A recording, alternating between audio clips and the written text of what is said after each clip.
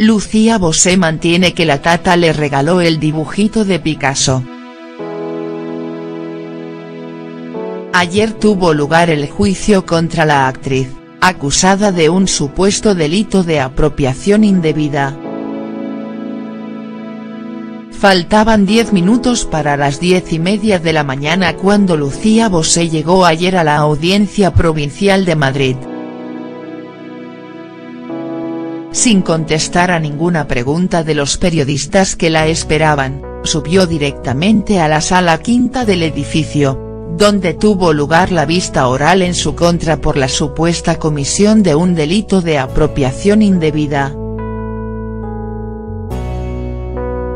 La Fiscalía solicita para la madre de Miguel Bosé una pena de dos años de prisión y una multa de ocho meses, con cuota diaria de 20 euros, por vender en 2008, y a través de la Casa Christie's de Londres, un dibujo de Pablo Picasso fechado el 16 de febrero de 1963, por el que se embolsó 198.607 euros.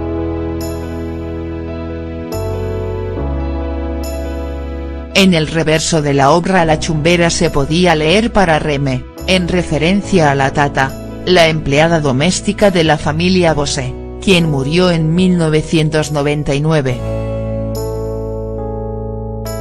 Ayer, las sobrinas de Remedios de la Torre Remedios y María Pilar Plata consiguieron sentar a la matriarca de los Bosé, de 88 años, en el banquillo para una vista donde se discutió si la propiedad de la obra era de Reme o de Lucía Bose.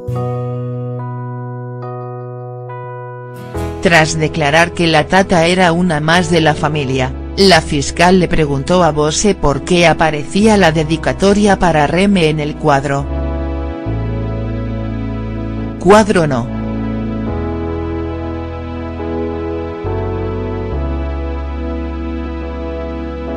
Dicen que es un cuadro, pero es un dibujo, un dibujito, interrumpió la actriz, una aclaración que reiteró a lo largo de su declaración.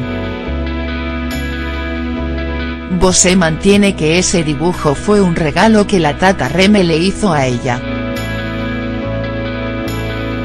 Después de estar tres meses de turné por Sudamérica con el torero en referencia a su por entonces marido, Luis Miguel Dominguín fuimos a casa de Pablo Picasso a recoger a nuestros hijos y a la tata, que se habían quedado con él en Cannes. Antes de irnos, Picasso nos hizo un regalo, recordó.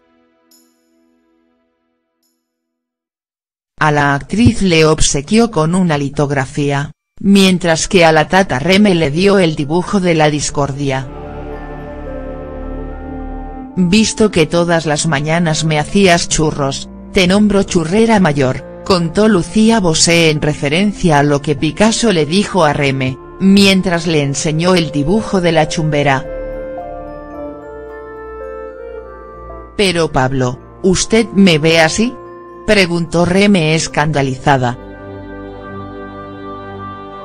Bosé reprochó esas palabras a la tata, pues cada pintor ve las cosas de una manera. Y añadió, me dijo que no lo quería porque no le gustaba y me lo regaló. La tata ni lo cogió.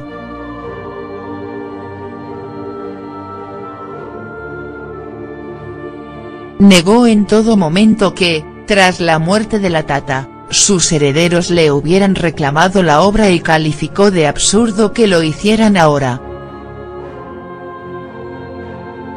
Hubo un momento tenso durante la vista, protagonizado por Bosé y el abogado de la acusación particular.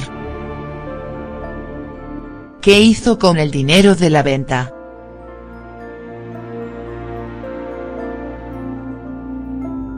Compré zapatos y trajes, ¿Usted cree que puede hacerme una pregunta así?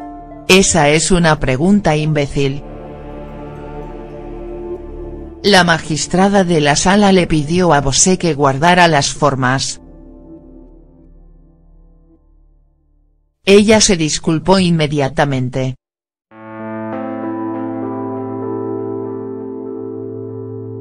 Si dice que el cuadro era suyo, ¿por qué pidió permiso a la familia de Remedios para venderlo? Preguntó el abogado de la acusación particular. Y dale con el cuadro. El dibujo. ¿A quién pedí permiso? ¿A la familia de la tata? Eso es mentira. Es imposible, están loco respondió Bose. Y la actriz no dejó de repetir que el dibujo se lo había regalado la tata. Una versión distinta sostenían las sobrinas de Remé. Remedios Plata aseguró que su tía siempre le dijo que Picasso le había regalado dos cuadros, La churrera y La chumbera. Cuadro no, dibujo, replicó de nuevo Bose. Yo siempre lo he llamado cuadro porque estaba colgado en la pared, respondió Plata.